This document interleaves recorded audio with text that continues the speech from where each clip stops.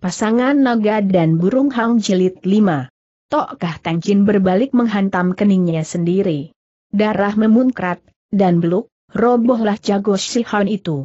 Sepintas pandang tindakan Goan Siu itu amat berbahaya sekali. Tapi sebenarnya ia bertindak dengan memakai perhitungan yang tepat. Jelas dilihatnya bahwa dalam hal tenaga, Han Wei kalah dengan dia. Itulah sebabnya ia lantas memutuskan untuk menghantam. Tapi sekalipun ia berhasil merobohkan Honwi, tinjunya juga melepuh. Masih Goan Siu belum reda kemarahannya. Sebelum Honwi sempat loncat bangun Goan Siu sudah injak punggungnya. Tian Toako, janganlah Tiat Molek buru-buru mencegahnya. Goan Siu tertawa dingin, mengingat ada orang memintakan kasihan bagimu, kali ini biar kuampuni kau tapi waktu ia angkat kakinya, Han Wei sudah pingsan. Kiranya walaupun Goan Siu tak jadi mencabut jiwa pecundangnya, tapi ia sudah menginjak remuk pekekas dalam orang Han itu. Nanti apabila Han Wei sembuh pun ia bakal menjadi seorang cacat yang tak berguna lagi. Melihat itu gusar Li Tiango bukan kepalang. Tanpa tunggu ada orang dalam rombongannya yang maju, ia sudah lantas loncat ke muka, Orang Sitian, aku pun hendak minta pelajaran dari kau. Sekiat tertawa. Ai, rupanya Li Cecu telah melupakan peraturan. Karena Tianto aku itu mewakili rombonganku, maka menurut peraturan pertandingan, ia hanya boleh bertanding satu kali saja. Kemarahan Li Tiango sekarang beralih pada jago itu, tantangnya segera, baik, kalau begitu biarlah sekarang aku meminta pelajaran padamu saja. Pihak Siang Tu kalian tentu berilmu sangat sakti. Sekiat menyahut, aku tinggal di lautan yang terasing, maka dalam pengetahuan amat dangkal sekali. Juga dalam ilmu kepandaian perguruanku, aku hanya memperoleh sedikit kulitnya saja. Mana aku berani menerima pujian Li Cacu itu? Kedatanganku kemari hanya untuk menambah pengetahuan tentang kepandaian yang mengagumkan dari sekalian sahabat-sahabat gagah. Telah lama ku dengar ilmu permainan. Tongkat Li Chechu yang disebut Lon Bihang Koai Hwat itu merupakan ilmu sakti yang tiada taranya di dunia persilatan. Sungguh beruntung sekali hari ini aku dapat berjumpa dengan Li Chechu, maka hendaknya sukalah Li Chechu memberi pelajaran barang beberapa jurus saja dari permainan tongkat yang sakti itu.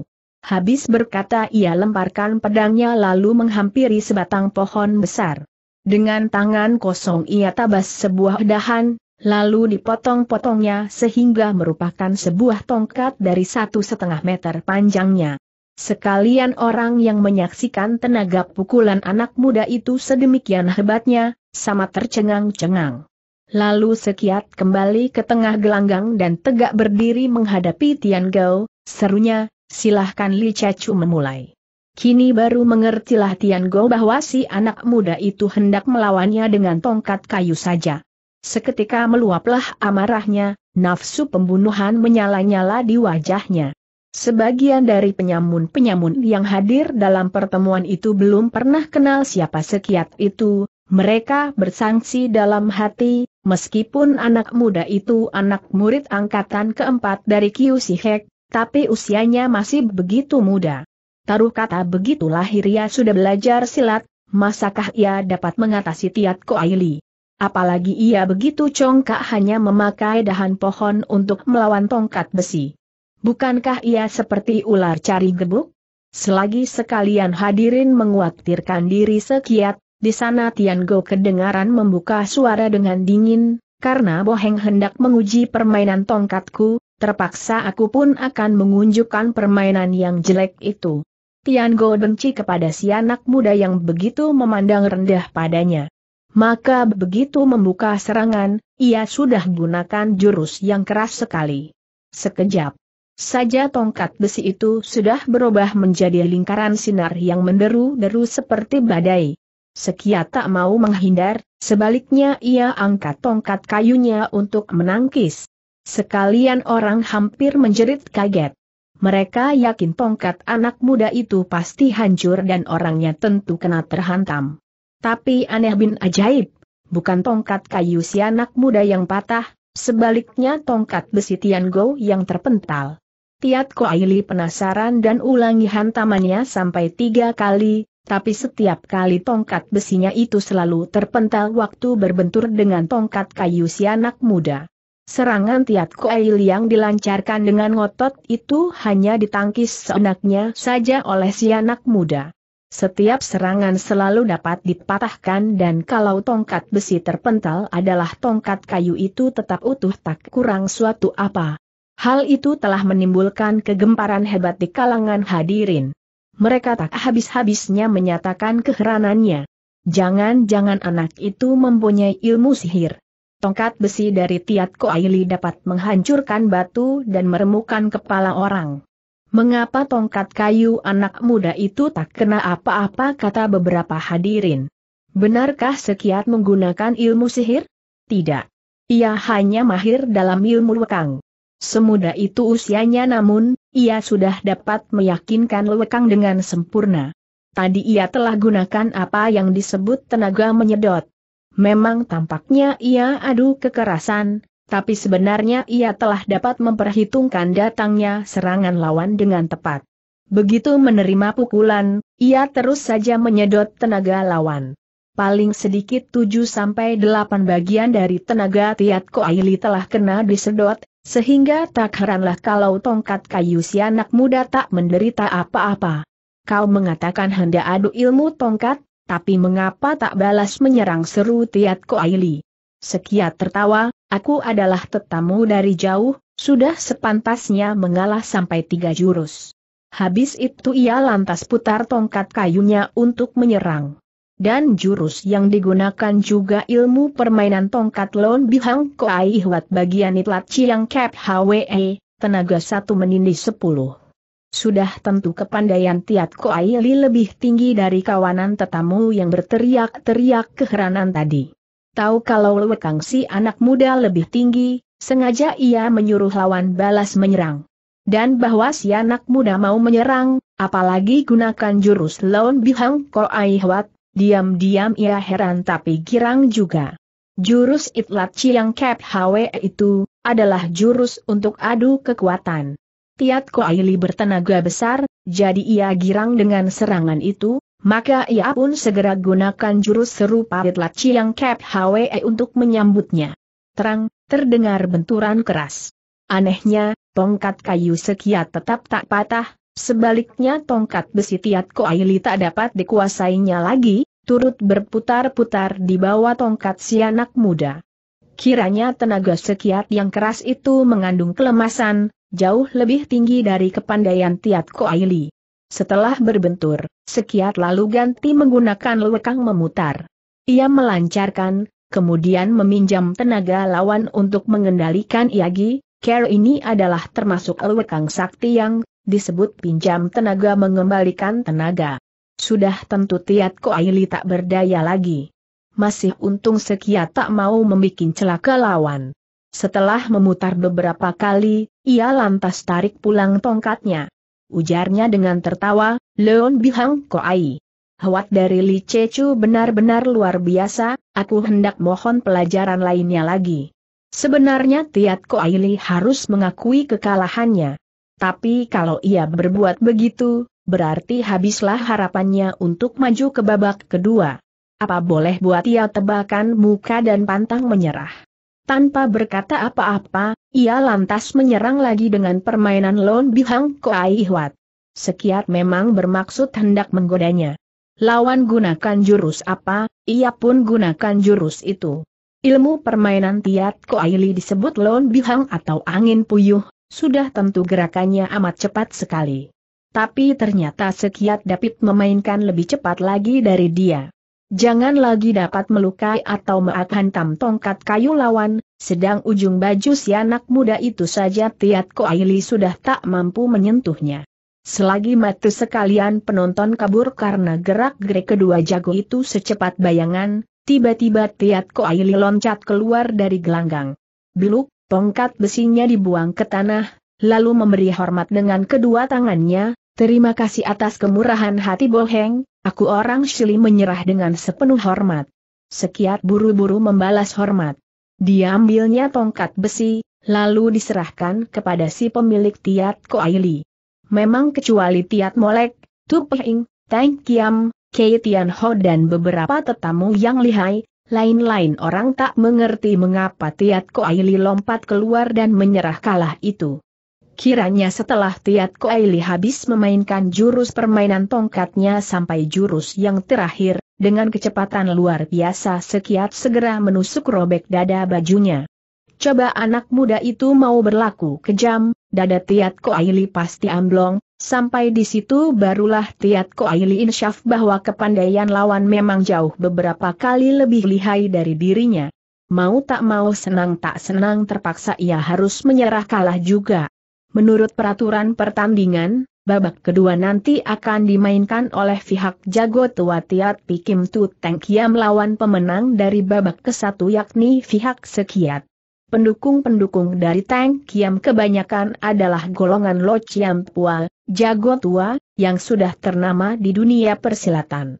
Untuk pertandingan pertama dari babak kedua itu, dari pihak Tengkia mengajukan Witin Hosok Ban Liu Tong sedang pihak Sekiat menampilkan Kerian Ho. Ban Liu Tong bergelar Witin Hosok atau terbawa menggetarkan utara sungai. Sudah tentu ia memiliki kepandaian yang istimewa. 30 tahun yang lalu, dengan sebatang tombak ia malang melintang di dunia persilatan tanpa tandingan. Di dalam dunia Loklin ia termasuk tokoh kelas berat. Tetapi sayang ia sudah berusia tua, lebih tua dua tahun dari Tang Kiam. Sebaliknya lawannya, Kei Tianho, dalam usia sedang gagahnya. Dalam kekuatan tenaga, Tianho jauh lebih menang dari lawan. Maka waktu pertandingan mencapai jurus yang ke-30, dengan jurus Lat Bihoasan, dengan tenaga penuh menghantam Gunung Hoasan, ia hantam Li Utong. Jago tua itu tak kuat menangkis, hampir saja ia terhuyung jatuh. Tayan Ho tetap menghormati Seng lawan itu sebagai seorang ciampul. Buru-buru ia buang goloknya terus merangkul lawannya supaya jangan jatuh. Tapi Liu Tong juga seorang jago tua yang sportif. Ia mengatakan tadi memang Tian Ho sengaja jatuhkan senjatanya sendiri, bukannya kalah. Dengan serta-merta jago tua itu menyatakan dirinya lah yang kalah. Sekalian orang gagah yang menyaksikan kesudahan pertempuran itu, sama memuji keperwiraan kedua jago itu. Untuk pertandingan kedua dalam babak kedua itu, dari pihak Teng Kiam sebetulnya akan keluar Se Choan Chu Siong Kam, seorang jago tua dari Beng Chiu.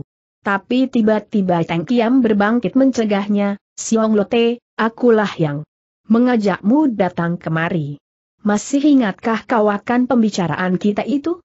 Sahut Xiong Kam, itu waktu sebenarnya kau tak berhasrat datang kemari, kemudian ku katakan bahwa kita berdua itu sudah tua, sedikit pun tak mempunyai keinginan untuk kedudukan pemimpin Loklin itu. Tapi tak ada jeleknya kita hadir kemari untuk meninjau apakah di dunia Loklin dewasa ini terdapat tunas-tunas muda yang lihai. Tang Kiam tertawa, benar. Oleh sebab itu maka ku minta sukalah kau duduk lagi untuk menonton saja. Tang To aku, sebenarnya masih terdapat banyak sekali sahabat-sahabat yang mengajukan dirimu. Jika sekarang kau hendak undurkan diri, bukankah akan membuat kecewa hati mereka bantah Xiong Kam. Tang Kiam menggeleng kepala, ujarnya, setelah menyaksikan tadi bahwa tunas-tunas muda kita itu mampu mengganti dan bahkan lebih jempol dari kita angkatan tua, aku merasa girang sekali. Masakah aku masih mempunyai nafsu untuk turut berebut lagi? Tapi seperti kau katakan tadi, kita pun tak boleh mengecewakan harapan sahabat-sahabat kita itu maka baiknya begini sajalah. Untuk pertandingan ini, akan kuminta Bos Yao Hiap mengunjukkan kepandaian lagi, Coba saja aku si tua ini masih dapat melayani sampai berapa jurus. Dengan begitu, biarlah babak terakhir yang tentunya lebih menarik ini dapat segera dimulai dan lekas selesai pula. Ucapannya itu mengandung dua macam arti. Pertama, sebagai seorang angkatan tua ia akan menguji seorang angkatan muda. Ya, hanya menguji saja bukan hendak merebut menang atau kalah. Kedua, ia hendak mengunjukkan kerendahan hati, mengalah. Jika Xiong Kam yang maju, apabila sampai menang, tentu pertandingan ketiga harus dimainkan lagi. Ini berarti akan memakan waktu. Maka ia ambil putusan untuk maju sendiri dengan membawa keyakinan, pasti kalah. Dengan begitu, biarlah babak ketiga. Yakni pertandingan antara bos sekiat lawan Tiat Molek, segera dapat dimulai. Dari sini dapat diketahui, sampai di mana kebijaksanaan jago tua itu. Seperti telah diterangkan di muka, menurut tata tertib pertandingan, pemenang pertandingan tadi boleh minta diganti orangnya, pun boleh melanjutkan bertempur terus sendiri. Maka bertanyalah Tian Hiong kepada sekiat, Teng Lo Chiampu bermaksud hendak berkenalan dengan jago-jago muda saja, maka ia minta kau saja yang terus melanjutkan pertandingan. Bagaimana kehendakmu? Sekiat buru-buru memberi hormat kepada Teng Kiam, atas perhatian Lo Chiam Pua, aku menghaturkan terima kasih. Dengan segala senang hatiku turut perintah Lo Chiam Pua. Teng Kiam tertawa gelak-gelak, bagus-bagus, kau hendak pakai senjata apa? Kiranya Sekiat tak membawa senjata apa-apa dan hanya bertangan kosong saja, itulah sebabnya maka Teng Kiam menanyainya. Sekiat menjura, ujarnya, di hadapan Lo Chiampua masakah aku berani kurang ajar memakai senjata? Teng Kiam tertegun, lalu tertawa lagi, baik, kalau begitu biarlah aku bertambah pengalaman lagi untuk menyaksikan permainan tangan kosong Xiao Hiap ini. Di kalangan orang persilatan, memang masih menjunjung perbedaan antara kaum tua dengan kaum muda. Jika berhadapan dengan lawan yang sama derajatnya, apabila salah seorang memakai senjata, itu berarti menghina lawan. Tapi terhadap angkatan yang lebih tua, hal itu malah berarti kebaikannya. Tidak menggunakan senjata, itu menandakan menghormat, mengunjukkan bahwa dirinya, kaum muda, tak berani memusuhi seorang Lo Chiampue. Biarpun dirinya terluka, tapi tetap tak mau melukai Lo Chiampue itu. Mendengar percakapan itu, sekalian hadirin sama memuji sekiat tapi mereka diam-diam menguatirkan anak muda itu, Tiat Kim Tu dari Tang Kiam itu jauh lebih hebat dari tongkat besi Tiat Ko Aili. Jika sekiat memakai pedang, dengan mengandalkan tenaganya yang masih muda itu, ia tentu menang. Tapi kalau hanya dengan tangan kosong saja, karena tenaganya itu tak banyak berguna, maka sukar ditentukan kalah menangnya. Tapi anak muda itu memang perwira sekali, Rupanya ia lebih suka kehilangan kesempatan mendapat kedudukan Beng Chu daripada dikatakan tak menghormat seorang Ciampul. Tang Kiam menyelentik sekali punggung goloknya, lalu menyuruh lawan siap, baiklah, kalau begitu harap Xiao Hiap terima seranganku ini. Golok Kim Tu segera ditabaskan miring, sekiat terangkapkan kedua tangan selaku memberi hormat sembari tundukan kepalanya ke bawah untuk menghindari tabasan golok. Sebagai seorang angkatan muda, untuk serangan pertama itu ia tak mau membalas. Malah ia sengaja berikan suatu kesempatan bagus-bagus kepada Teng Kiam. Ai, janganlah bos Yao Hiap berlaku sungkan Teng Kiam tertawa. Begitu tubuhnya membalik, ia melancarkan serangan yang lihai.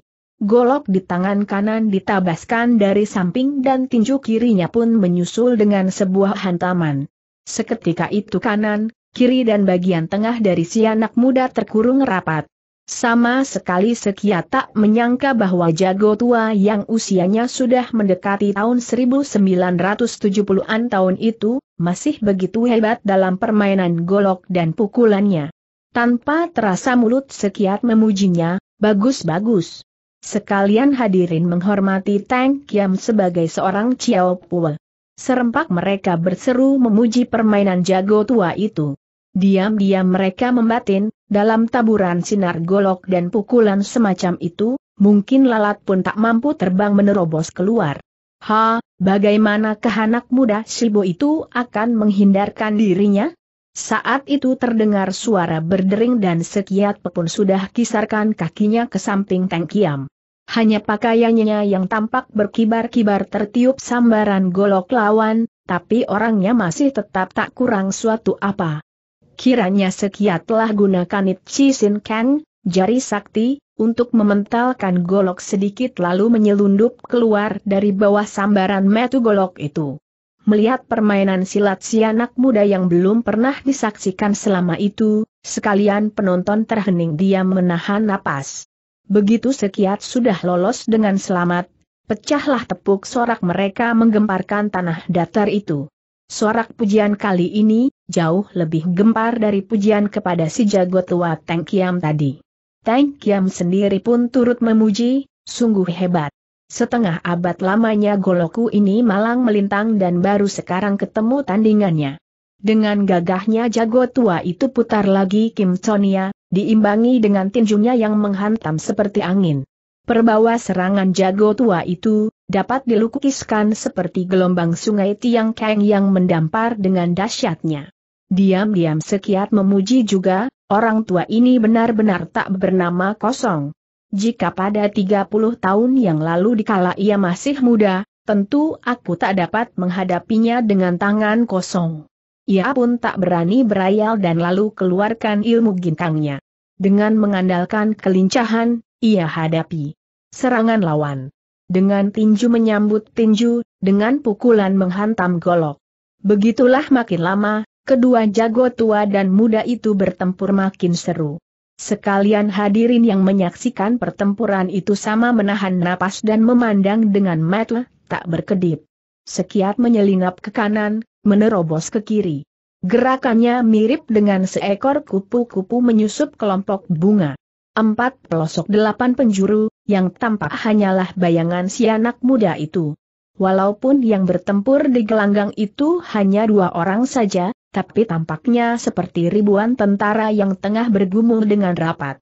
Gerakan sekiat makin cepat hingga beberapa penonton sama berkunang-kunang matanya.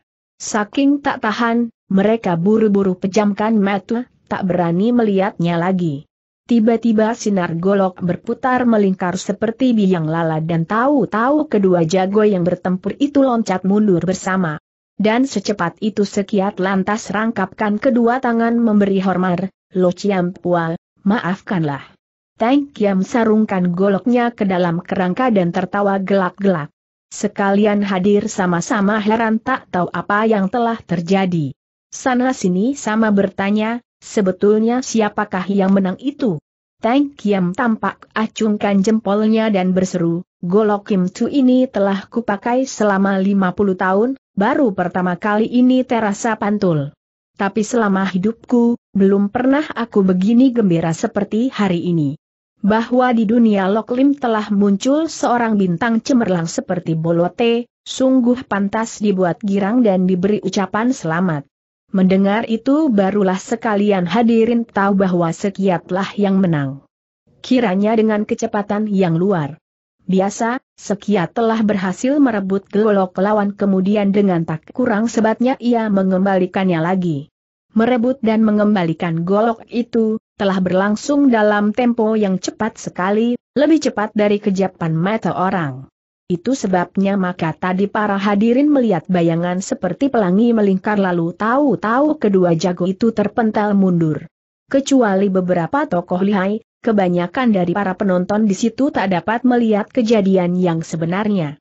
Karena pihak Teng Kiam sudah dua kali mengalami kekalahan, jadi babak kedua itu diakhiri sampai di situ dengan pihak sekiat sebagai pemenangnya. Untuk babak ketiga atau yang terakhir, akan muncullah golongan sekiat melawan jago-jago dari golongan tiat molek.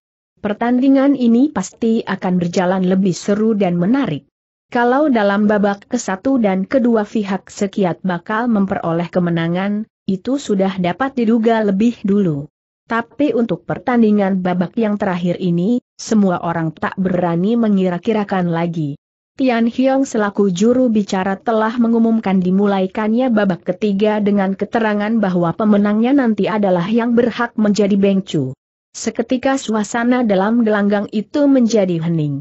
Orang-orang dari kedua rombongan yang akan bertempur itu pun sama berkelompok berunding untuk memilih jagonya masing-masing.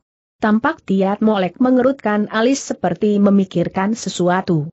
Tu Ing yang berada di samping segera berbisik, tidak boleh. Apa yang tidak boleh tanya Tian Goan Siu? Tidak boleh menyerah padanya sahut Ing. Mengapa tidak boleh? Bos Sekiat memiliki kepandaian silat yang hebat dan kecerdasan otak yang jempol. Bukankah amat? Baik sekali jika menyerahkan kedudukan Bengcu padanya kata Tiat Molek. Kata Pehing, dia datang dari luar lautan, baru setahun menginjak bumi Tionggoan sudah lantas mengikat persahabatan dengan banyak orang gagah. Kuanggap dia memang bermaksud hendak merebut kedudukan Bengcu ini. Itu kebetulan sekali. Memang aku sebenarnya tak ingin menjadi bengcu, kata Tiat Molek. Adalah justru karena sifat-sifat kecerdasannya itu amat menonjol sekali, jadi sukar orang hendak menduganya. Siapa tahu ia bakal memimpin saudara-saudara kita ke arah mana? Kuharap kecurigaanku ini tak berlebih-lebihan, tapi bagaimanapun aku tak dapat menghilangkan kekhawatiran hatiku, ya aku khawatir setelah ia menjadi bengcu belum tentu dunia Loklim akan berbahagia kata Pehing. Dalam kalangan Loklim, Tu Pehing itu dijuluki sebagai Xiao Cukat atau Cukat Liang kecil-kecil. Cukat Liang atau Hong Bing adalah seorang kunsu, penasehat militer, yang cemerlang dalam zaman Sam Kok. Dalam meneliti ucapan Pehing itu, Tiat Molek seperti merasa ada sesuatu maksud yang dalam. Maka ia merasa kaget dan lantas tak berani buka suara lagi. Shin Tian Hiong seorang lelaki berwatak belak-belakan. Takut kalau Tiat Molek akan undurkan diri, maka cepat ia acungkan sepasang kapak terus lari ke dalam gelanggang. Aku seorang pendukung Tiat Molek. Sekarang dengan memberanikan diri, aku akan tampil yang pertama. Siapa di antara saudara-saudara yang akan memberi pelajaran padaku? Sebagai tuan rumah, tampilnya Tian Hiong itu telah menarik perhatian semua orang. Anggota-anggota kelompok penyokong Tiat Molek bangkit semangatnya. Riuh rendah. Mereka bertepuk tangan dan berseru membantu moral jagonya. Dari pihak sekiat, tampak Ke Tian Ho yang maju. Ha, ha, Shin Chechu, kita adalah sahabat kental. Selama ini entah sudah berapa kali kita bertanding minum arak. Bertanding kepandaian, baru pertama kali ini. Kita sama-sama membantu sahabat. Tentunya sebagai seorang kakak, kau takkan menyesali adikmu ini, bukan kata Tian Ho tertawa. Tian Hyong tertawa juga, baiklah kita anggap pertandingan ini semacam pertandingan arak saja. Siapa kalah siapa menang, harus menerimanya dengan gelak tertawa. Jika kau yang kalah, akan ku persilahkan kau minum 30 cawan besar. Kedua tokoh itu, sama tinggi besarnya, sama jujurnya dan sama pula kedudukan namanya dalam dunia loklim. Inilah yang dibilang berdiri sama tinggi, duduk sama rendah. Para hadirin tidak ada yang pro mana-mana. Mereka bertepuk memuji Tian Hiong, pun bersorak menyanjung Tian Ho. Ini makerutkan alisnya, eh, mereka benar-benar akan berkelahi? Sudah tentu berkelahi sungguh-sungguh, masakah hanya bergurau saja? Eh, apakah kau menguatirkan mereka? Takut orang Shike yang terluka, atau khawatir orang Shishin yang bonyok tanya Yak Bwe tertawa. Mereka adalah sahabat karib, maka tak perlulah aku menguatirkan.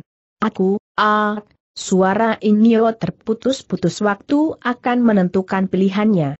Ya BWE mengerti, ujarnya, oh, kau khawatirkan Boto aku dan Tiat Molek.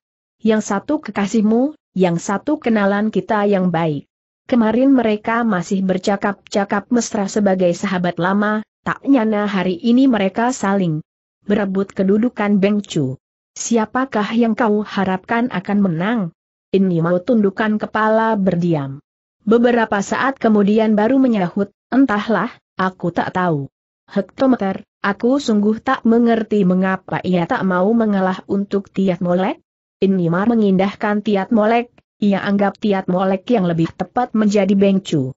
Tapi dalam pada itu, ia pun berharap supaya Sekiat dapat menundukkan para orang gagah dan dapat mengangkat nama. Itulah sebabnya ia kebat-kebit melihat pertandingan antara benteng dan harimau itu dan hatinya gelisah sendiri. Tiba-tiba Shin Tian Hiong kedengaran berteriak keras hingga Enyo sampai tersentak kaget. Ternyata kedua jago itu sudah bertempur seru dan berteriak-teriak. Tapi pertempuran mereka itu lebih banyak seperti orang adu tenaga. Tian Ho menhantam dengan goloknya dan Tian Hiong menangkis dengan kapaknya. Adu senjata itu telah menimbulkan lengking dering yang memekakkan telinga. Keilote, sungguh hebat tenagamu seru Tian Hiong. Shinto aku, sepasang kapakmu itu berat bukan main. Tian Ho balas memuji. Mereka berdua sama terbahak-bahak. Tiba-tiba mereka sama menggembor terus berbaku hantam dengan golok dan kapak lagi. Mereka itu kawan akrab, tetapi di waktu berkelahi, sama-sama tak mengalah. Karena tenaga mereka kuat, maka gelanggang pertempuran itu sampai terasa bergoncang. Waktu melayani Witin Hosok Ban Li Utong tadi, karena jago itu sudah tua, Tian Ho tak banyak mengeluarkan tenaga. Kini baru ia keluarkan seluruh kekuatannya. Goloknya berputar menderu-deru. Sedikit saja menyerempet pohon atau batu, tentu benda-benda itu akan hancur. Anak buah Kim Ke. Nia tahu bagaimana kepandaian cecunya, Tian Hiong, tapi tak urung mereka merasa khawatir juga. Dan ternyata Tian Hiong tak mengecewakan harapan mereka. Demi untuk kepentingan Tiat Molek, ia bertempur dengan mati-matian. Sepasang kapaknya itu masing-masing tak kurang dari 50 kati beratnya. Jadi lebih berat dari golok Tian Ho. Waktu dimainkan, sepasang kapak itu seperti dua ekor naga yang tengah berebut mustika. Perbawanya dapat melekahkan gunung, menghancurkan batu. Juga anak buah Tian Ho tak terluput dari perasaan khawatir seperti anak buah Kim Kenia. Mereka tahu dan percaya akan kegagahan cucunya masing-masing, tetapi tetap merasa khawatir juga.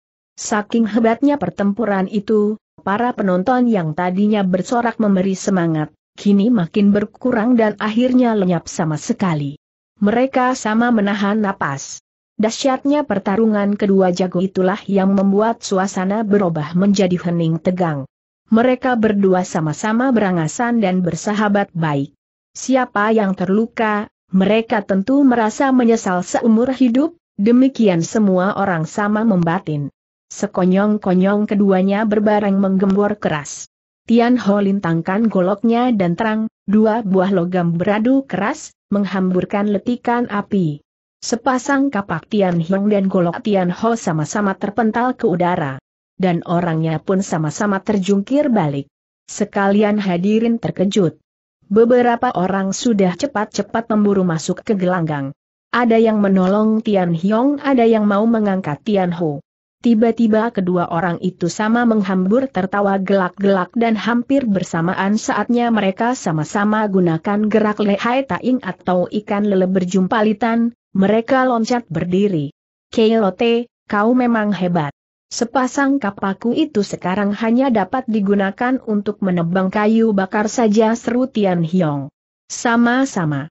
Goloku itu pun nantinya hanya dapat digunakan untuk memotong sayur saja sahut Tian Ho.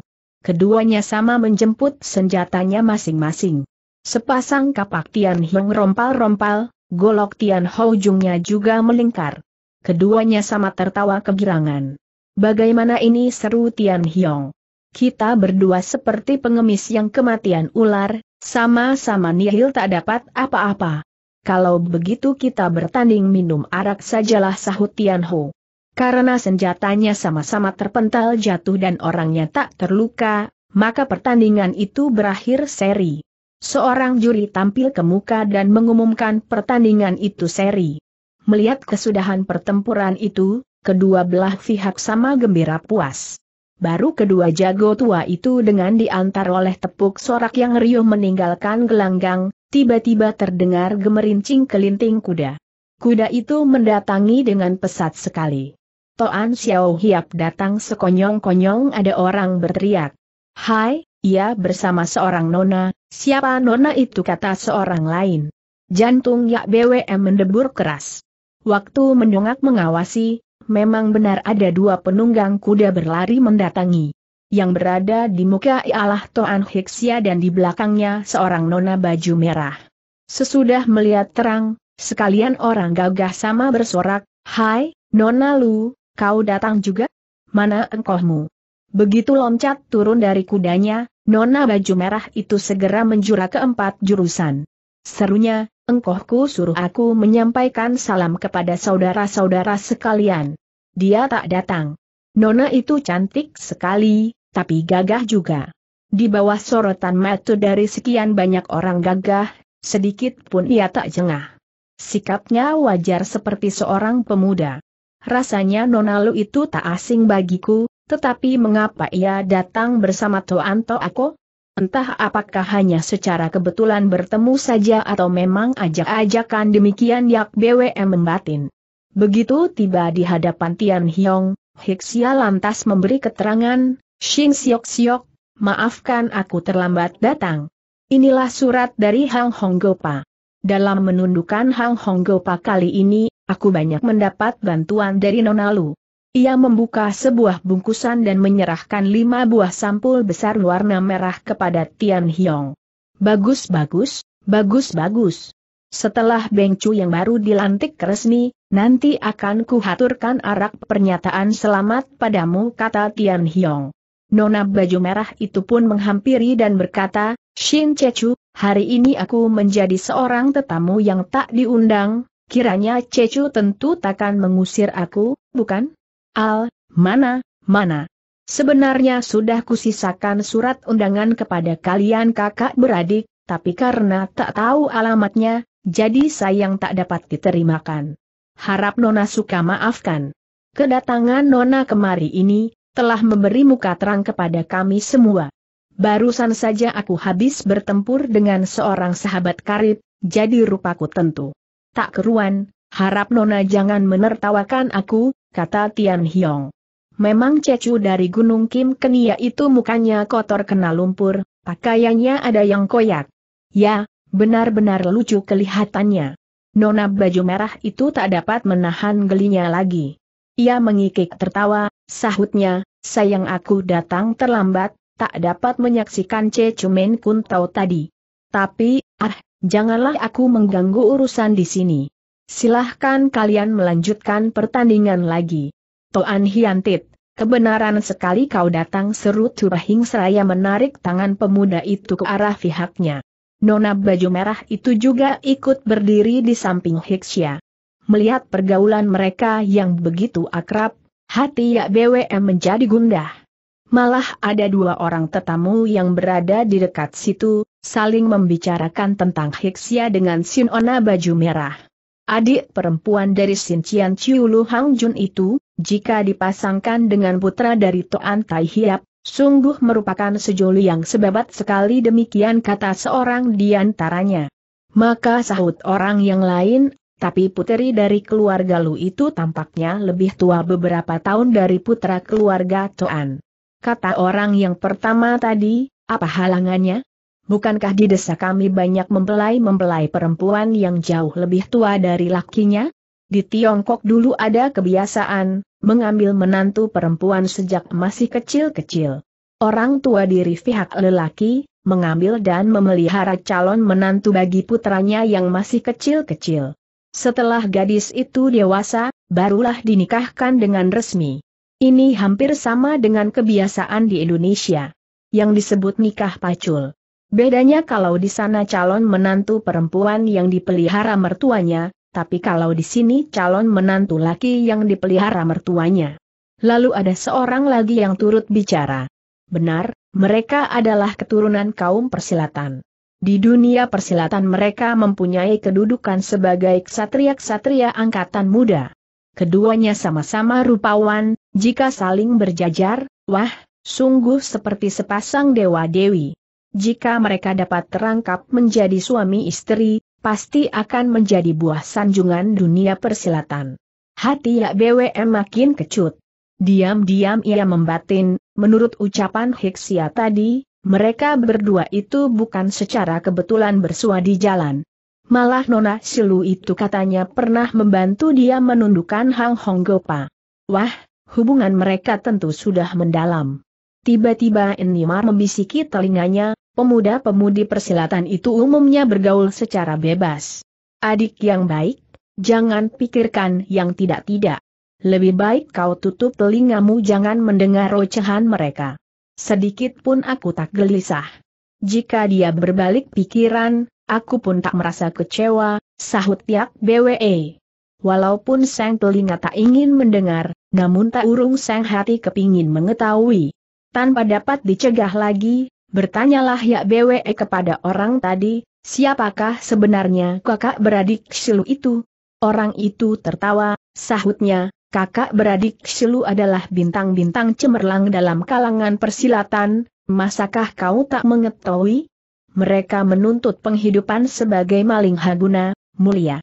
Memang jarang sekali mereka melakukan pekerjaan, tapi sekali turun tangan tentu ikan besar yang ditangkapnya. Hasil yang diperolehnya, tentu didermakan pada rakyat yang menderita. Mereka benar-benar layak disebut pendekar-pendekar budiman dan dermawan. Kedua kakak beradik itu memiliki kepandaian istimewa. Kakaknya disebut Cian Chiu Lu Hang Jun yang malang, melintang di daerah selatan utara dengan sebatang busur besinya. Di dunia persilatan sukar dicari orang kedua yang dapat memanah begitu tepat seperti dia. Adiknya, Lu Hang Jiu lebih lihai lagi. Selain ilmu goloknya amat lihai, pun ia mempunyai kelinting Sip Hun Leng. Apakah Sip Hun Leng itu tanya Yak Bwe dengan heran. Orang itu tertawa, sewaktu berjalan bukankah ia kedengaran bergemerincing seperti suara kelinting? Pakaiannya itu dipasangi banyak sekali kelinting emas kecil-kecil-kecil-kecil sebesar jari. Sewaktu bertempur dengan musuh, kelinting-kelinting itu dapat dipergunakan sebagai senjata rahasia. Kelinting itu khusus dipakai untuk menghantam jalan darah berbahaya dari orang. Seratus kali timpuk, seratus kali kena. Maka banyaklah musuh-musuhnya yang sudah lari terbirit-birit jika mendengar suara kelintingnya itu.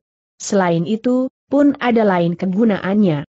Karena orangnya amat cantik dan jika berjalan berkelintindoan seperti diiringi musik, maka banyaklah orang-orang yang tak mengetahui siapa nona itu, tentu akan terpikat semangatnya. Mendengar orang begitu memuji-muji Lu Hang Jiu, hati Yak BWM makin tak tenteram. Pikirnya, seperjalanan dengan nona itu entah apakah Hiksia tidak akan dipikat semangatnya, diraih jiwanya. Ah, sudahlah jangan membicarakan Sip Hun Leng lagi. Lihat saja bagaimana mereka akan mengadu jiwa itu. Hai, lihatlah, Toan Hiksia maju ke muka. Baru saja datang, apa ia sudah lantas mau membantu Tiat Molek memperebutkan kedudukan Bengcu demikian seorang yang berada di sebelah segera menyeletuk tertawa. Dan begitu berada di tengah gelanggang, Hiksia lantas berseru nyaring, Boto aku. Sekiat yang dengan sehatnya sudah menyongsong, pun berteriak keras, Hai, Toan Hyante. Kedua jago muda itu segera saling berjabatan tangan dan tertawa gelak-gelak. Begitu mendengar kau datang ke Tionggoan siang-siang aku lantas ingin menjumpaimu. Apakah Leng Siok, pamanmu, baik-baik saja? Dahulu aku banyak menerima petunjuknya yang berharga, kata Hiksya pada waktu kembali dari Tionggoan, dalam membicarakan tentang tokoh-tokoh bulim dewasa ini, pamanku juga tak putus-putusnya memuji kau. Beliau masih ingat, pada waktu itu kau baru berumur tahun 2010-an tahun, tapi sudah dapat digolongkan sebagai salah seorang tunas muda yang paling menonjol dalam angkatan muda. Beliau amat terkenang padamu. Begitu datang di Tionggoan aku dititahkan segera mencarimu. Sayang karena mondar-mandir kian kemari, baru sekarang aku dapat bertemu muka dengan kau, sahut sekiat.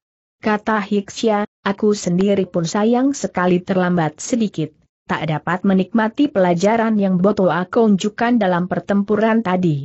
Beberapa orang yang sudah kepingin menyaksikan pertempuran ramai-ramai, segera berteriak, sekarang masih belum malam. Omong-omong nanti saja dilanjutkan, sekarang adu kepandaian dulu agar mata kita dapat terbuka lebih lebar.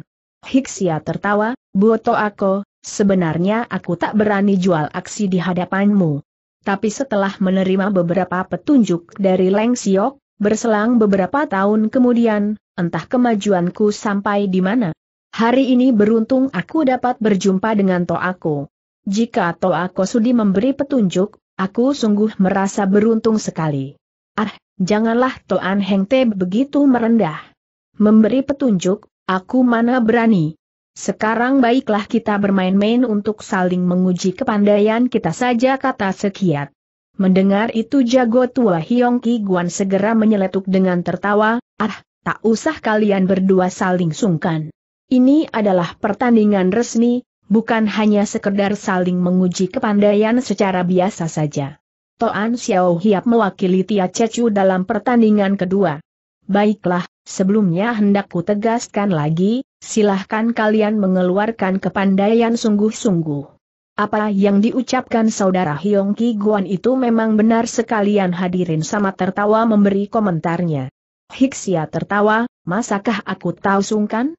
Apa yang kukatakan tadi memang berasal dari lubuk hatiku.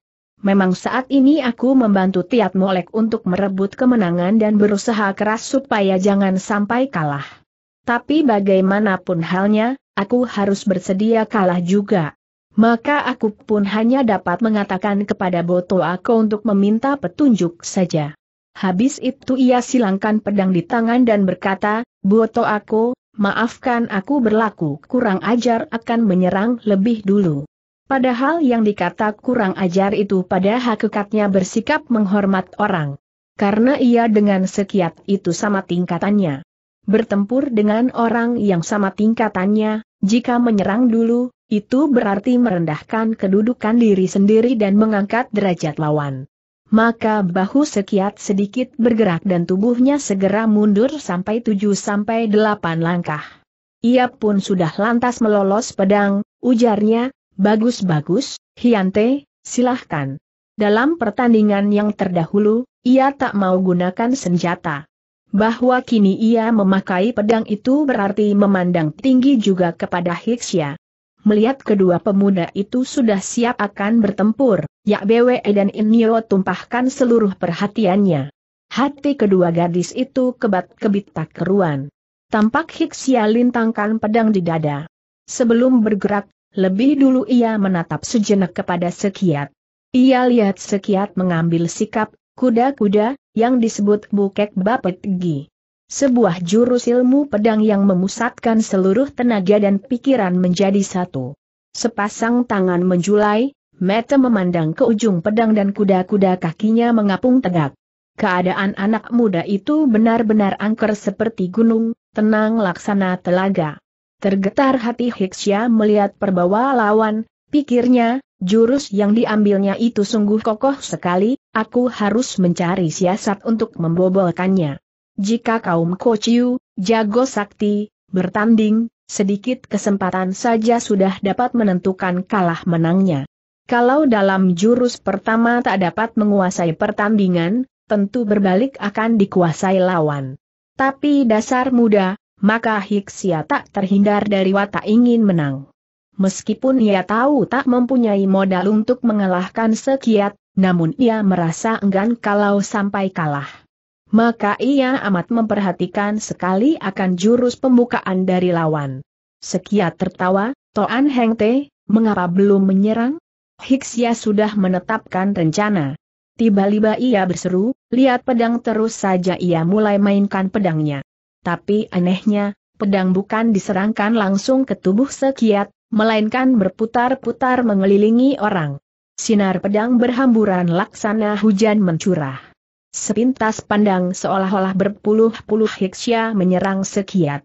Serangan itu sukar dilukiskan kecepatannya. Semua penonton hanya melihat sinar pedang bergulung-gulung, sedang bayangan orang ampak sama sekali. Kiranya Hiksya menggunakan siasat memakai kelebihan dirinya untuk menyerang kelemahan lawan. Teringat ia akan paman sekiat bernama Bojong Long. Pada waktu itu Bojong Long pernah menguji kepandaiannya Su Heng Hiksya, yakni Gonggong Ji dari segala kepandaian, Bojong Long lebih unggul. Hanya dalam ilmu ginkang, ia kalah setingkat dengan Gonggong Ji. Hiksya merasa, dalam ilmu ginkang sekarang ia sudah hampir menyamai Su Hengnya.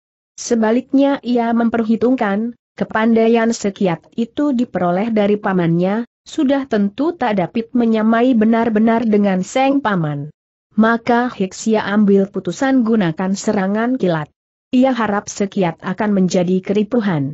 Tapi tiba-tiba terdengar serentetan suara gemerincing dari senjata beradu.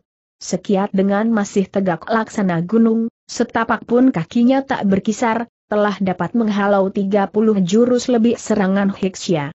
Tapi sekalipun begitu dalam libatan serangan kilat berantai dari Hiksia itu, Sekiat pun tak berdaya untuk balas menyerang. Ia telah menguasai dengan sempurna ilmu menghapus tenaga serangan lawan. Baik, akan ku serbu ia dengan siasat 9 kali 01 kali sungguh. Dengan pedang pusaka, masakah ia tak kelabakan, diam-diam Hiksya mengatur rencana. Kiranya pedang yang berada di tangan Hiksya itu, adalah pedang pusaka warisan mendiang ayahnya. Pedang pusaka itu dapat menabas logam seperti menabas kapuk. Tapi dikarenakan dalam setiap kali bergerak, sekiat selalu dengan tepatnya dapat menghapus tenaga lawan, maka pedang pusakanya itu pun tak dapat berkembang perbawanya. Coba kalau tenaganya berimbang atau setidak-tidaknya hanya terpaut sedikit saja, tentu tenaga menghapus itu tak nanti mempan. Memang siasat menyerang kilar yang digunakan Hiksia tadi, tepat sekali. Tapi karena terlampau cepatnya ia melontarkan serang begitu merapat lantas mundur, maka perbawa pedangnya tak dapat menggabungkan kondisi antara kedahsyatan dengan kecepatan, karena itu mudah dihapus kekuatannya oleh sekiat. Kini Kiksya mengganti siasat 9-0, satu kali sungguh. Gerakannya serba bahkan lebih cepat dari tadi. Hanya saja dalam kesepuluh kali serangan itu, tak seluruhnya dilontarkan dengan cepat. Yang sembilan kali serangan kosong memang dilancarkan cepat. Yang satu kali serangan sungguh, agak lambat tapi keras. Tapi karena serangan yang cepat lebih besar jumlahnya, jadi keseluruhannya merupakan serangan cepat semua. Dan yang lebih lihai lagi, walaupun serangan kosong, tapi apabila lawan kelihatan ayal, dapat juga berubah menjadi serangan sungguh-sungguh. Dalam ilmu pedang, Sekiat sudah mempunyai keyakinan sempurna. Namun menghadapi bertubi-tubi serangan kosong dari Hiksia itu, tak urung ia heran juga.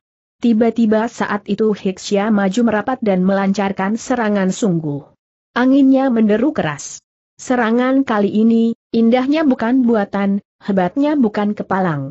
Sekalian orang gagah yang menyaksikan sampai terkesiap kaget, Inyo sampai menjerit tertahan dan si berangasan Kerian Ho pun berjingkrak ke atas. Dalam detik-detik yang menegangkan urat syaraf itu, sebelum sekalian penonton melihat jelas, tiba-tiba terdengar sekiat berseru memuji, ilmu pedang hebat, sambutlah serangan ini.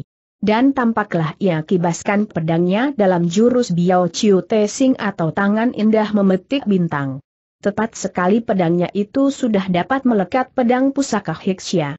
Kemudian sekali dipelintirkan ke muka, ujung pedang lantas mengancam jalan darah Hian Ki Hiat di dada Hiksia. Waktu melancarkan serangan berisi, sungguh, memakai tenaga lebih besar, jadi kecepatan serangan Hiksia pun berkurang. Sekiat adalah seorang ahli pedang yang menguasai segala gerak-gerik lawan. Sedikit perubahan dari gerakan Hiksya itu tak terluput dari pandangan matanya yang jeli. Segera ia menguasai kesempatan itu, kecepatan dilawan dengan kecepatan, menyerang untuk menghalau serangan.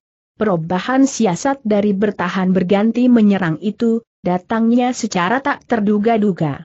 Kalau tadi Inyo yang menjerit tertahan karena sekiat terancam, adalah sekarang giliran Yak BWE yang berteriak tertahan sebab Hiksia terserang. Sekonyong-konyong Toan Hiksia bersuit, tubuhnya mencelat ke udara dan serupa dengan sekiat tadi, ia pun berseru, ilmu pedang hebat, sambutlah serangan ini. Bagaikan burung melayang, anak muda itu melampaui kepala sekiat dan dengan jurus sengkik tianggong atau burung elang menghantam udara, laksana selarik pelangi pedangnya menusuk ke bawah. Sekiat putar pedangnya melingkar. Dua kali ia berputar tubuh dan serangan Hiksia tadi dapat dipecahkan. Detik demi detik diperebutkan oleh mereka berdua untuk mendahului menyerang. Bagaimana tegang dan runcingnya pertempuran itu, sukar dilukiskan. Setiap perubahan situasi, sukar diduga sama sekali. Sekalian hadirin hanya melihat gelalanggang pertempuran itu penuh dengan sinar pedang. sinar pedang yang bentuknya menyerupai sepasang naga saling berebut mutiara. Mana Sekiat dan mana Hiksia sudah tak dapat dibedakan lagi. Beberapa saat kemudian, tiba-tiba tampak permainan pedang kedua anak muda itu mulai lambat gerakannya. Bagi orang yang tajam pendengarannya, akan dapat mendengar bahwa di dalam deru sambaran pedang itu, juga terdapat hamburan napas yang bergolak-golak. Diam-diam Tiat Molek berbisik-bisik kepada Ing, sebenarnya Hiksia Hiantit itu masih kurang pengalaman, tapi ia bernafsu sekali untuk menang. Kiranya pertempuran itu berlangsung dengan seimbang. Masing-masing mengeluarkan keistimewaannya sendiri-sendiri. Hiksya menang unggul dalam ilmu ginkang, sedang Sekiat menang kuat dalam ilmu wekang. Dalam babak permulaan, Hiksya secara cerdik telah menetapkan rencana menggunakan kelebihan kepandaiannya untuk menundukkan kelemahan lawan. Tapi karena siasat itu sampai sekian lama tak memberi hasil, ia lantas berganti siasat dengan sembilan kali serangan kosong, satu kali serangan berisi. Berkat ketajaman pedang pusakanya, memang ia dapat menang angin sedikit. Tapi sekiat ternyata seorang ahli pedang yang sudah kenyang pengalaman.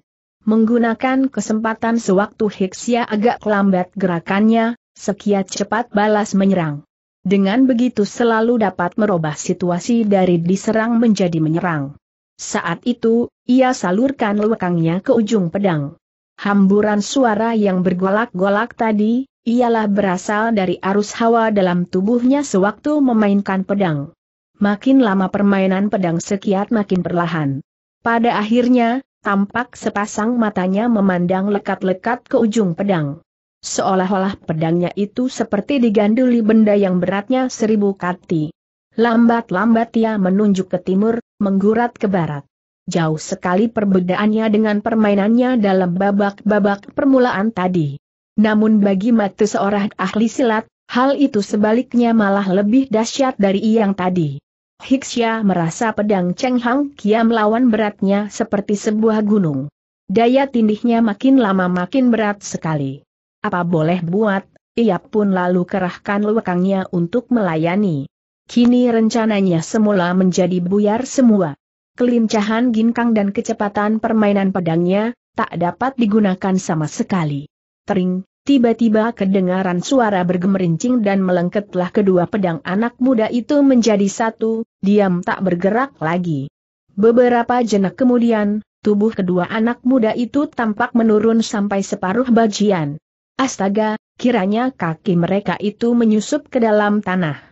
Sewaktu sekalian hadirin sama terperanjat, sekonyong-konyong tiap molek loncat ke tengah gelanggang dan berseru, sudah, hentikan pertempuran. Pertandingan ini adalah Boto Ako yang menang. Terang, berbareng dengan seruan itu, terdengarlah suara bergemerincing keras.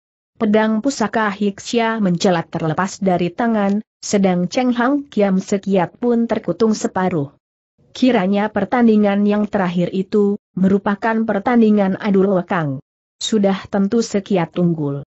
Tepat di kala Tiat Molek loncat sambil berseru tadi, Sekiat telah berhasil mencungkil pedang Heksia sampai mengacalat ke udara. Tapi dikarenakan lekangnya tak terpaut banyak sekali dengan Heksia dan lagi pedang Heksia itu sebuah pedang pusaka, maka sewaktu Hiksya mengerahkan lewekang sekuatnya, segera pedang pusaka itu mengunjuk gigi. Berbareng pedang Hiksya terpental, pun pedang sekiat terkutung. Begitu loncat maju, Tiat Molek segera ulurkan sepasang tangan untuk menyiak kedua pemuda itu. Dan berbareng itu, ia membuyarkan tekanan tenaga lewekang masing-masing, agar jangan ada salah satu yang terluka. Para tokoh-tokoh yang berkepandaian tinggi dalam kalangan hadirin, sama memuji tindakan Tiat Molek. Mereka memuji Tiat Molek sebagai orang yang adil, tidak semata mementingkan keuntungan pihaknya. Seperti diketahui, ia dengan sekiat itu terhitung pihak yang berlawanan. Dengan mengakui pihaknya yang kalah, sebenarnya ia boleh menarik Hiksya seorang saja. Apakah Sekiat terluka atau tidak karena tekanan Luekang Heksia nanti, ia boleh tak usah memperdulikan. Tapi ternyata ia rela mengambil risiko menerima tekanan Luekang dari kedua pihak. Tanpa memandang mana kawan mana lawan, ia perlakukan sama rata. Kedua-duanya ia tarik dengan berbareng. Kejujurannya itu menimbulkan rasa kagum dan perindahan dalam hati sekalian hadirin. Hiksya memungut pedangnya. Dengan muka kemerah-merahan ia berkata, Luwekang Boto aku sungguh hebat sekali. Dengan tulus hati, aku mengaku kalah. Sekiat tersipu-sipu goyangkan tangan, tidakkah sudah menguntungkan pedangku? Sebenarnya akulah yang harus dianggap kalah. Mana bisa bantah Hiksya? Aku dapat mengutungkan pedangmu karena mengandalkan ketajaman pedang pusakaku. Tapi berkat ilmu kepandaian yang sesungguhnya lah kau dapat membuat terlepas pedangku. Sudah tentu aku harus mengaku kalah. Mendengar perdebatan saling berebut mengaku kalah itu, sekalian orang gagah merasa heran tapi kagum. Maka berkatalah Tiat Pikim Tu Teng Kiam, tadi sewaktu bertanding, Sejengkal pun kalian tak mau saling mengalah. Sekarang malah rebutan mengaku kalah. Aku sudah hidup beberapa puluh tahun, tapi baru sekali ini melihat peristiwa yang begini istimewanya. Pecahlah mulut sekalian hadirin dengan gelak tertawa yang gemuruh. Jago tua Hiong Ki Guan yang menjadi juri segera tampil ke muka, sudahlah, jangan kalian berbantah. Menurut peraturan pertandingan, belum ada ketetapan yang menyatakan senjata-senjata apa yang tak diperbolehkan dipakai. Pedang pusakakah atau kapak penebang kayukah, semua boleh dipakai. Pendek kata yang menang tetap dianggap menang. Menurut penilaian pertandingan tadi, yang satu senjatanya terlepas jatuh, yang lain pedangnya kutung. Terlepasnya pedang Hiksya memang terjadi lebih dulu, tapi kerusakan yang diderita pedang sekiat itu lebih besar. Karena kedua belah pihak tak mau melanjutkan bertanding dengan tangan kosong, maka menurut peraturan, pertandingan ini hanya dapat dianggap seri. Sekalian hadirin menyetujui putusan juri itu. Apa boleh buat, Sekiat dan Hiksia tak mau berbantah lagi, dan masing-masing saling menyatakan maaf. Selanjutnya berseru pula Yongki Guan, menurut peraturan pertandingan, bagi setiap calon bengcu diharuskan bertempur satu kali. Babak ketiga ini sudah berlangsung dua kali pertandingan. Dari pihak Tiat Molek yang maju pada pertandingan pertama ialah Tian Hiong. Kemudian pertandingan kedua, yang maju Toan Hiksia. Maka untuk pertandingan yang terakhir, haruslah Tiat Molek sendiri yang tampil. Pihak bos sekiat yang maju untuk pertandingan pertama ialah Ke Tian Ho. Kemudian pertandingan kedua, yang maju sekiat sendiri. Untuk pertandingan terakhir, menurut peraturan pertandingan, sekiat boleh menyuruh lain kawannya yang maju, pun boleh juga ia sendiri lagi yang tampil. Juri itu berhenti sejenak, lalu bertanya kepada sekiat, Bos Yau Hiap, apakah kau akan maju sendiri atau suruh lain kawan yang maju? Sekiat memberi hormat kepada Tiat Molek, ujarnya, Kepandaian dari Tia Cecu melebihi lain-lain orang. Keharuman nama Tia Cecu termasyhur sampai jauh. Dengan setulus hati aku merasa kagum. Bahwa dapat memperoleh rejeki seperti saat ini, aku merasa beruntung sekali. Jika tak menampik, aku hendak mohon pengajaran pada Tia Cecu. Ahaha, kepandaian boheng begitu sakti. Apa yang kusaksikan tadi benar-benar sesuai dengan kenyataan, sudah tentu aku tak berani menampiknya. Hanya saja, aku mempunyai suatu pengharapan.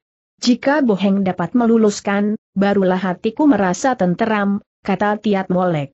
Sahut sekiat, apabila Tiat Cecu yang menitahkan, tak ada alasan bagiku untuk tak mentaati.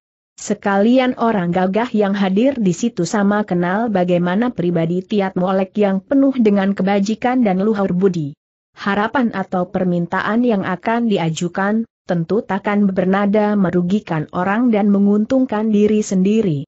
Tetapi sikap sekiat yang tak ragu-ragu menyatakan kesediaannya itu pun mendapat pujian tinggi dari sekalian hadirin.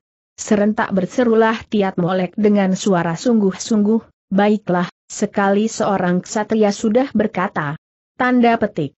Laksana kuda dicambuk berlari cepat buru-buru sekiat menyanggapi.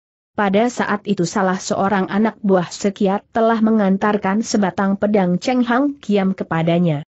Maksudnya hencak minta sekiat berganti pedang baru karena pedangnya yang tadi sudah kutung. Tapi karena melihat pemimpinnya, sekiat, sedang berbicara dengan Tiat Molek. Maka orang itu pun tak berani mengganggu dan hanya tegak menunggu di samping saja. Tiba-tiba Tiat Molek lambaikan tangan ke arah Hiksya, Toan Hyante, Berikanlah pedangmu itu kepadaku. Orang-orang di pihak sekiat terkejut. Pikir mereka, tidak sari-sarinya Tiat Molek berbuat begitu. Apakah karena hendak berebut kedudukan Beng Chu, maka ia tak menghiraukan harga diri lagi? Apakah ia hendak gunakan pedang pusaka untuk menempur bos sekiat yang sudah lelah? Hiksya sendiri pun tampak keragu-ragu. Tapi terpaksa ia serahkan pedangnya juga. Setelah menerima pedang, berkatalah Tiat Molek dengan tenang, Boheng, harap maafkan atas kelancanganku ini. Harap Kasudi memakai pokiam ini. Apa artinya ini? Kau, kau, sahut sekiat dengan tergagap-gagap. Tiat Molek cepat menyela, harap Boheng jangan salah faham. Sekali-kali aku tak bermaksud memandang rendah Boheng. Kau tadi sudah bertanding melawan Hiksya, ini berarti aku mendapat kemurahan. Dengan berganti pakai Pokiam, barulah pertandingan ini akan menjadi adil. Sekarang barulah orang-orang di pihak sekiat mengerti maksud Tiat Molek. Mereka merasa malu sendiri, malu karena mengukur pribadi seorang ksatria dengan ukuran seorang Xiao Jin, manusia rendah. Sekiat tertawa gelak-gelak, terima kasih atas kebaikan Tiat Cecu. Tapi maafkan, aku tak dapat menerimanya. Ia sengaja hendak pamerkan luakangnya. Maka ketawanya itu tergemerontang seperti patu legam berbentur. Kumandangnya jauh sampai menjurus ke lembah. Dengan ketawa itu, Sekiat hendak menunjukkan bahwa ia masih mempunyai tenaga cukup untuk melayani Tiat Molek, tak memerlukan suatu senjata apa pun lagi.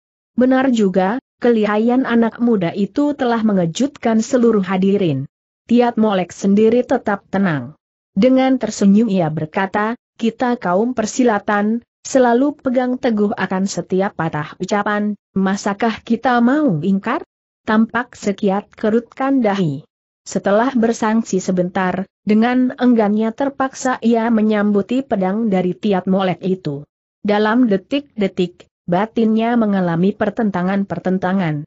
Pertama ia membatin, sifat kesatri dari Tiat Molek ini amat menonjol sekali, menawan hati orang. Lebih baik aku mengalah, menyerahkan kedudukan Bengcu kepadanya. Tetapi bisikan hatinya yang lain lagi menentang, dari ribuan li aku datang kemari, apakah tujuanku? Seorang lelaki sejati yang mencita-citakan usaha besar, masakah goyah pendirian karena urusan kecil-kecil? Baru ia merenung begitu, tiba-tiba Tiat Molek sudah mulai mempersilahkannya, Boheng adalah seorang tetamu dari jauh. Harap mulai menyerang dulu. Kening sekiat mengerut. Ia sudah mengambil ketetapan. Segera ia mengucapkan maafkanlah, dan terus ayun pedangnya menyerang. Waktu Tiat Molek kelintangkan pedang menangkis. Sekiat memburunya lagi dengan tiga buah serangan berantai. Begitu menyerang lantas mundur, lalu maju merapat lagi dan mundur pula. Tiat Molek juga seorang jago kawakan. Ia tahu gerakan anak muda itu dimaksudkan untuk mengalah sampai tiga jurus. Hal itu selaku pernyataan terima kasih atas budi pinjaman pedang pusaka tadi. Harap Boheng jangan sungkan-sungkan, katanya. Dengan jurus Tia Soheng Keng atau rantai besi melintang sungai ia halau pedang sekiat keluar dari pertahanannya. Jurus itu mengandung dua gaya, menyerang dan bertahan. Memiliki gerak lanjutan yang membahayakan lawan. Jika sekiat masih main sungkan tak mau menyerang sungguh-sungguh, ia tentu bakal terjerat dalam kedudukan sulit. Sekiat mengerti bahwa ia dipaksa lawan supaya menyerang sungguh-sungguh. Ya, apa boleh buat? Ia segera gunakan jurus Pek Hang Anjit atau biang lala putih menyilang matahari. Pedangnya menerobos masuk ke dalam lingkaran pertahanan Tiat Molek. Perbawa jurus Pek Hang Anjit itu dahsyat sekali. Menusuk ke atas dan memapas ke bawah. Pedang pusaka milik Toan Hiksia itu, kali ini benar-benar dapat kesempatan untuk mengembangkan perbawanya. Bagus-bagus saking kagumnya Tiat Molek sampai berseru memuji. Tapi ia pun tak berani berayal. Tiba-tiba pedangnya diputar melingkar seperti gaya gerakan golok besar. Kemudian baru melancarkan sebuah tabasan. Tapi tebasan itu bergaya istimewa sekali, lain dari yang lain. Ujung pedang dari bawah melilit ke atas lalu dijungkirkan untuk memapas lengan kanan sekiat. Ilmu permainan itu adalah buah ciptaan Tiat Molek sendiri yang mengkombinasikan kelincahan ilmu pedang dengan kedahsyatan ilmu golok. Hebatnya bukan kepalang. Sudah tentu sekiat tak kenal akan permainan itu. Hanya dalam meninjau kedahsyatan serangan lawan itu, diam-diam ia membatin, jelas ia mengetahui aku memakai pedang pusaka, tapi mengapa ia sengaja mau main bentur? Terang, baru menimang begitu, sudah terdengar suara senjata beradu. Dan melengketlah kedua pedang itu. Tapi pada saat itu tahu-tahu Tiat Molek sudah balikan punggung pedang untuk hantam pedang lawan sekeras-kerasnya. Begitu hebat, tekanan tenaga yang dilontarkan. Tiat Molek, hingga pedang sekiat menjadi condong, tangannya pun terasa sakit sekali. Betapa ia hendak gunakan ilmu menghapus, namun hanya dapat menghapus tiga bagian tenaga lawan saja. Kini barulah sekiat insyaf akan tenaga Tiat Molek yang luar biasa kuatnya itu. Itulah sebabnya maka Tiat Molek tak gentar menghadapi pedang pusaka. Tiat Molek pun tak kurang kagetnya. Bahwa hantamannya tadi tak mampu membuat pedang si anak muda terlepas jatuh, telah menimbulkan rasa kekaguman. Perlu dikemukakan di sini, bahwa Tiat Molek itu memang dilahirkan sebagai anak lelaki yang memiliki tenaga luar biasa. Kemudian dia diperhebat pula dengan latihan ilmu silat yang tinggi. Kini ia sudah menginjak usia setengah umur, sudah tentu kepandaian hanya makin sempurna. Bagaimana dahsyat permainan pedangnya dapat dibayangkan. Jika sekiat diganti lain orang, tentu sudah tak kuat menahan gempurannya tadi. Sekiat baru berumur 20 tahun lebih. Ia tak memiliki tenaga pembawaan yang sakti. Dapat menerima gempuran tiat molek itu saja sudah cukup membuktikan sampai di mana kesempurnaan iwakangnya. Nyata dalam ilmu wekang ia tak di bawah tiat molek. Berbicara tentang pedang pusaka atau pokiam, memang pokiam hiksia yang dipakai sekiat itu tajamnya bukan buatan tapi pedang itu tak dapat menabas benda jika tak digerakkan oleh tangan pemakainya. Apalagi untuk mengutungkan pedang Tiat Molek, sungguh tidak mudah. Karena di tangan Tiat Molek, pedangnya itu berubah menjadi sebuah benda yang amat berat sekali. Jika hendak memapasnya, sekiat harus mengerahkan segenap lewekangnya. Dan hal itu tak cukup dengan sekali dua kali tekan saja melainkan harus dilakukan beberapa kali pada posisi yang berbeda-beda. Tapi dikhawatirkan sebelum pedang Tiat Molek dapat ditabasnya kutung, pedangnya sendiri sudah akan terpukul jatuh oleh gempuran tenaga lawan yang maha kuat itu. Kini berputar-putarlah anak muda itu memainkan pedangnya ke kanan kiri. Gerakannya amat aneh dan berbahaya. Jurus apa yang digunakan itu, sukar diketahui. Tapi yang nyata, ia selalu menjaga jangan sampai berbenturan dengan pedang Tiat Molek. Rupanya ia hendak mencari lubang yang lemah dari pertahanan orang. Tujuh kali serangan pedang ia lontarkan berturut-turut. Saking gencarnya permainan pedang anak muda itu, sekalian penonton sampai berkunang-kunang matanya. Tiat Molek mengambil posisi menurut perhitungan Kyo Kiong Pakwa untuk menghadang serangan si anak muda. Satu demi satu dapatlah ia memecahkan ketujuh serangan sekiat.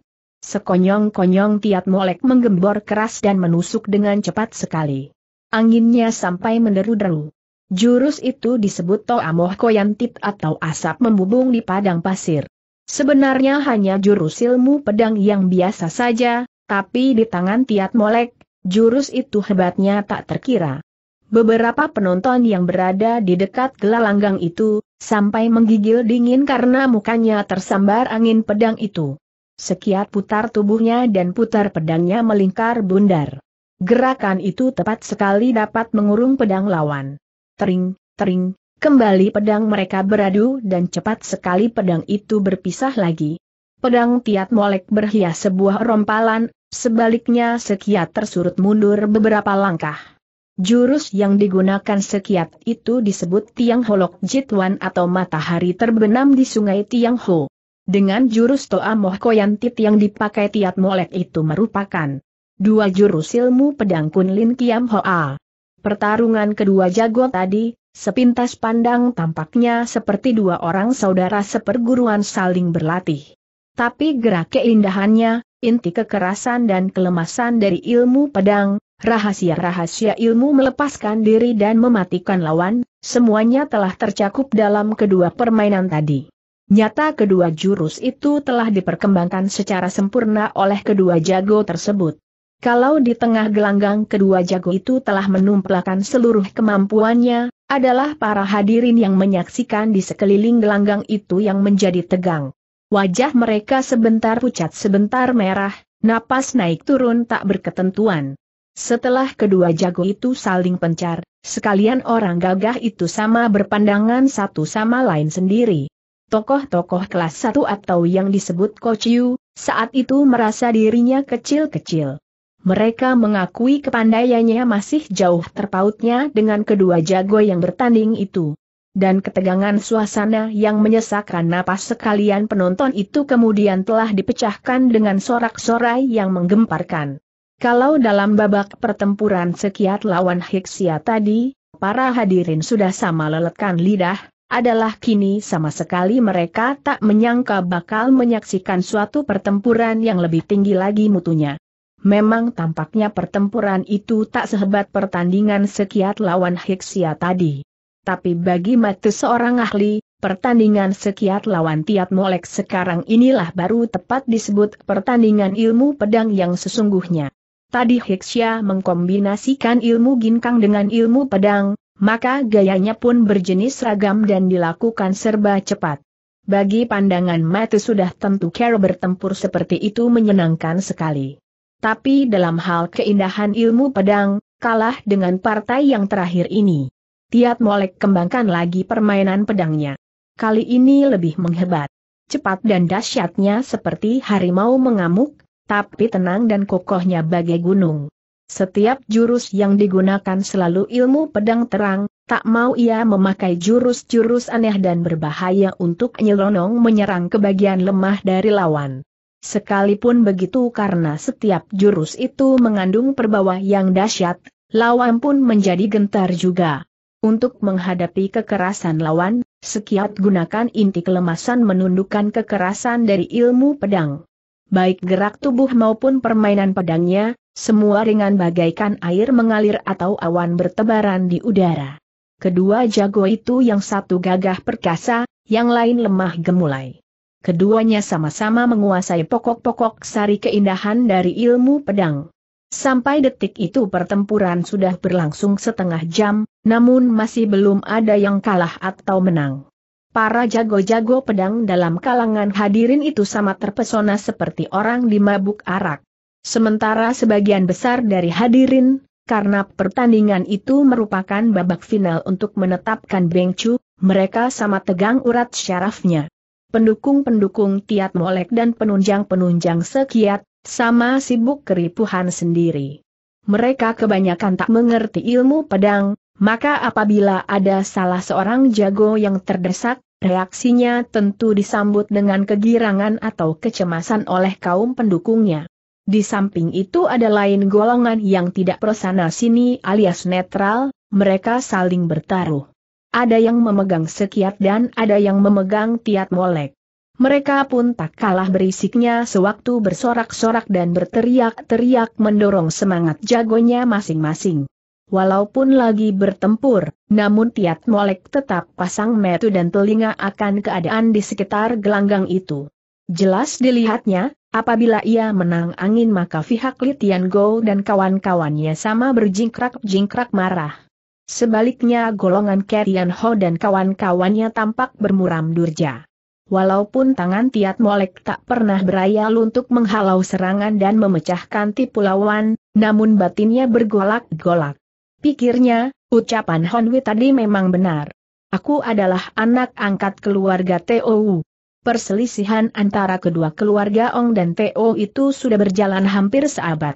Sekalipun Ong Pek Tong sudah meninggal dan puterinya sudah menyatakan suka menghapus dendam keluarganya, tapi anak buah Ong Pek Tong masih banyak sekali.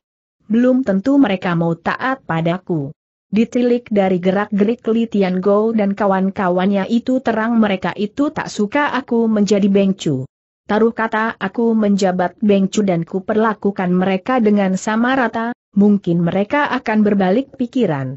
Tapi hal itu urusan di belakang hari, yang nyata pada waktu sekarang ini mereka mempunyai hati menentang lebih dulu. Kalau begitu, kedudukan bengcu tak ada manfaatnya bagiku, bahkan dapat meretakkan persatuan. Kemudian pikirnya lebih jauh, Shinto Ako dan Tu Shok Shok menasehati supaya aku merebut kedudukan Beng Chu, maksudnya tak lain tak bukan ialah mengharap aku dapat mendamaikan silang sengketa di dunia Loklim. Dengan ada satu pimpinan, masalah rebutan daerah operasi dan barang rampasan tentu akan berkurang. Selain itu, sebagai Beng Chu ia berhak untuk memberi komando agar anggota-anggota di daerah-daerah suka saling bantu-membantu, kemudian dipersatukan untuk melawan tentara negeri.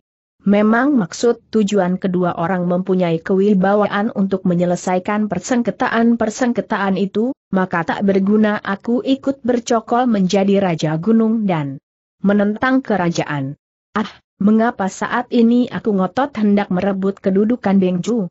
Mengapa aku tak mengalah saja? Baru Tiat Molek menimang sampai di situ, Sekiat kembali melancarkan 7 sampai 8 kali serangan berantai. Serangan-serangan itu hebat dan indah sekali. Meskipun Tiat Molek dapat menghalaunya satu demi satu, namun tak urung hatinya merasa kagum juga. Kembali pikirannya melayang, bos sekiat ini selain berkepandaian tinggi, pun selama berkelana di dunia persilatan ia selalu dapat menundukkan orang dengan bijaksana perilakunya itu dapat digolongkan sebagai ksatria yang berbudi luhur. Susyok-syok khawatir anak itu mempunyai hati serong. Kuatir bila dia menjadi bengcu akan membawa kawan-kawan Loklim ke jalan yang nyeleweng. Memang hal itu pantas menjadi pemikiran. Tapi apakah benar dia akan berbuat begitu, itulah kelak baru dapat diketahui. Andai kata kemudian hari negara terjadi kekalutan, dan anak muda itu benar-benar mempunyai ambisi untuk menjadi raja, itu pun apa salahnya. Lalu ia berpikir pula, sekarang banyaklah orang yang mendukung bos sekiat. Memang kalau dihitung jumlahnya, pendukungku tetap lebih besar dari dia. Tapi Go dan kawan-kawannya itu adalah pengikut-pengikut setia dari Ong Pek Atong. Kalau disuruh memilih antara aku dengan sekiat, sudah tentu mereka akan memilih bos sekiat. Setelah ia menjadi bengcu, aku akan dapat mengusahakan supaya pengikut-pengikut Tong Pek Tong dan anak buah Kim Kenia taat padanya. Tapi jika aku yang menjadi bengcu, tentu tak ada orang yang akan membantu aku supaya kawan-kawan Loklim itu tunduk padaku. Ditilik dari sudut ini, untuk ruginya sudah jelas. Demi untuk persatuan, demi pergerakan, Mengapa aku tak memberikan kedudukan Bengcu kepada bos sekiat saja? Berpikir begitu, makin mantaplah keputusannya.